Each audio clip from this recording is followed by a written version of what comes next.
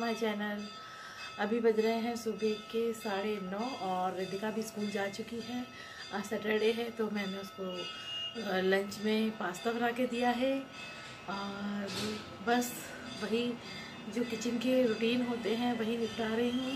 देखिए किचन कितना मैसी है। बस, क्या है ना, सुबह का टाइम जो होता है, बड़ा ही फास्ट वाला होता है। क्या होता है? जल्दी के चक्कर में कोई सामान इधर फैल जाता है, कोई सामान उधर फैल जाता है, पूरी किचन फैली पड़ी है। तो बस अब मैं उसे ही निपटाऊँगी तो फिर चलते हैं। करते हैं काम।